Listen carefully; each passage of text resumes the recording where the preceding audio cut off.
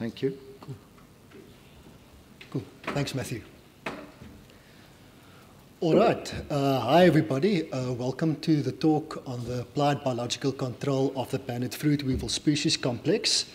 Uh, just to introduce the research team, first of all, um, obviously myself on the uh, um, left-hand side, then Dr. Julian Aran, who's a weevil taxonomist based at CIRAD.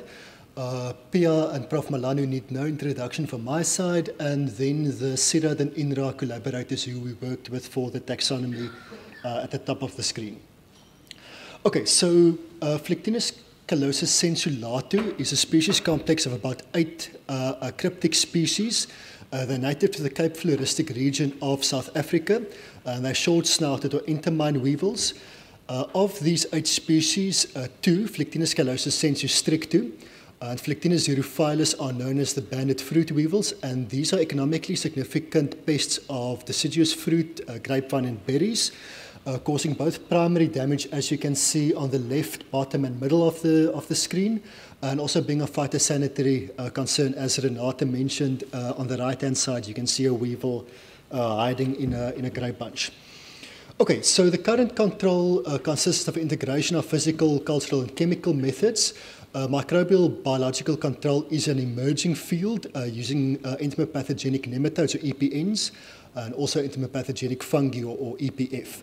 Now the adults are flightless and they're mobile and they occur above ground, so they're a good target for entomopathogenic fungi uh, whose spores can't move to, to infect insects. Um, while the larvae and the pupae are good targets for EPNs. Uh, as Murray mentioned, uh, these can actually move in the soil and locate uh, cryptic insects. Okay, so for the EPF, we tested two Beauveria uh, isolates, including Beauveria bassiana PPRI 5339, uh, which is the active ingredient to the product broadband. However, in spite of previous encouraging results uh, on this isolate, uh, we found quite low and variable mortality, uh, in all the trials. So this brings into question the economic viability of, of this uh, uh, product or isolate.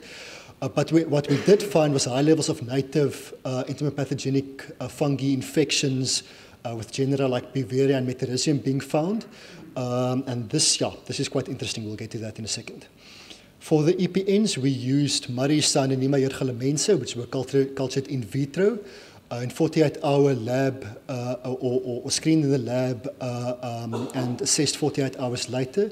Uh, the larvae infected with uh, 200 infective juveniles, which are the infective stage of these nematodes per insect, at a 27 to 55% infection, which is reasonable. And interestingly enough, the pupae had the same or even higher level of infection uh, with half or even quarter of the, of the amount of nematodes, so they're quite a bit more susceptible. Uh, we also conducted a semi-field trial using these EPNs. Um, the uh, weevil larvae were reared in the lab and then buried in these mesh cages, as you can see on the left-hand side of the screen in the orchard floor. Um, they were exposed to the nematodes for 96 hours, and we got reasonable levels of control, uh, with 50% actually being considered adequate for, for, for field control. Uh, what's important to note is that under normal conditions, these uh, a larvae will be exposed for much longer time than 96 hours. They occur in the field for a few months.